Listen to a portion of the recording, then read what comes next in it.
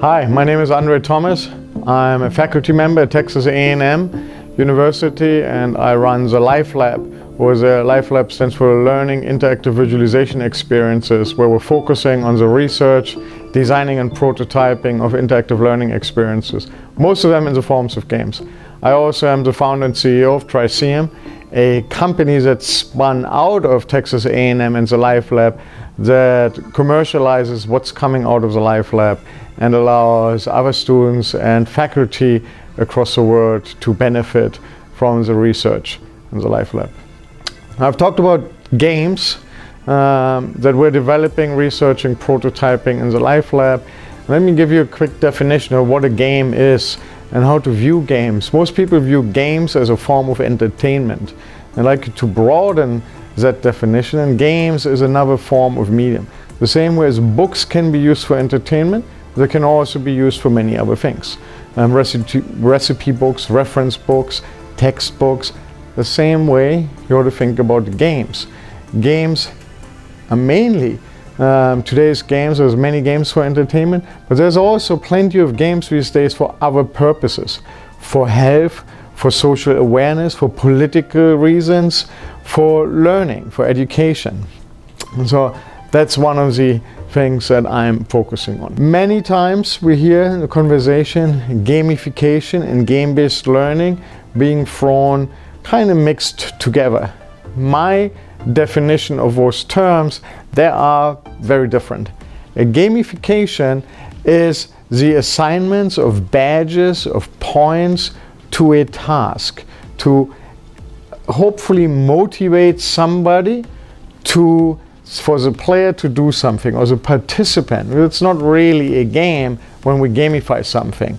If I say, okay, I want you to take the trash out every week and you get a gold star. If you do it on Fridays, you get a silver star. If you do it on Saturdays, you get a bronze star. If you do it on Sunday. That's me gamifying. All I want you to do is take out the trash and in return you get a gold star, silver or bronze star. That's gamification. It's not a game. A game my definition of game, a game has rules, has an end state, which is win or lose, or stalemate in the form of chess, where you can have a stalemate, but there's a definite end. Um, games have objectives. Something like Minecraft, that's a sandbox. You can make games in Minecraft and with Minecraft, but Minecraft in and of itself is not a game. It's a sandbox that you can use, just like a sandbox out in the playground you can create games in and around it, but in and of itself, it is not a game. And that's my definition. And there's many different definitions out there. Gamification, very successfully used in the hotel industry, airline industry.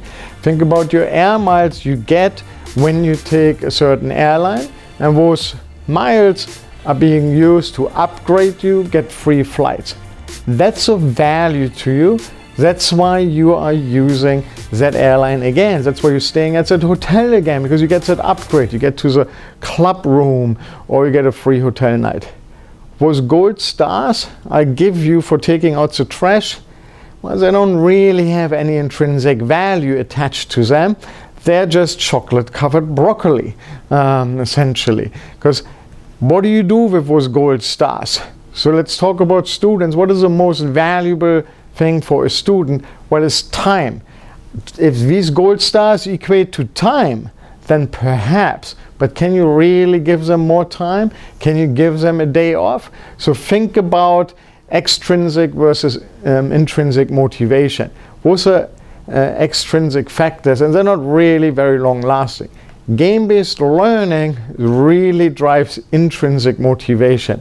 The object, the thing that I want you to learn, becomes the object of desire inside of the game. So in a math game, for example, me doing math and being better at math, that is my inherent motivation. And while I'm doing so, I'm learning the math, obviously. If I just get points for solving math equation, well, the thing I care for is the points, not the math. And I can replace the math with anything else. It doesn't matter because the points is a value system. So make the things that you want to teach the value system, i.e. the math, the physics, the chemistry, if that becomes a value system in your game, now you have game-based learning. When we talk about using games to not only teach, but I believe you can use games as a game design methodology to solve problems, any type of problems, because games are equal. So I can't think of a game that has requirements in terms of gender, ethnicity, ethnicity, age, religion, political belief. And if you want to play chess, you play chess. The game doesn't care who you are. It doesn't care what you did yesterday and what you're going to do tomorrow. Uh, the game is equal to everybody. Now, thinking about this, you can use game design to create an equal playing field amongst very disparate stakeholders, um, participant in a conversation or negotiation. So we're tackling a problem, let's say budget cuts. Well, you can bring the city administrators, the teacher, the students, the parents, all into the same room and instead of discussing in length the budget cuts and why and why not and, and what's going to happen, you could all together design a game around budget cuts and what I could do or what I don't do for you. In the process of designing the game, it becomes much easier to have a conversation. Well, this is where I'm standing, this is what happens when you take money away. Something that's more difficult to do when you're in a regular conversation. So within that context, everybody can really voice their standpoint, their viewpoint, from where they're coming, from where they're coming, and they can listen to each other and hear each other, and together they're designing the game. Um, now the game itself doesn't really matter at the end because it's a process.